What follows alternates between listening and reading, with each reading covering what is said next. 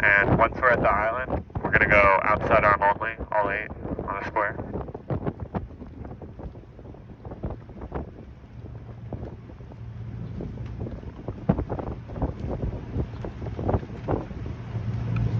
There's a lot of uh, dredging traffic up ahead, so be careful.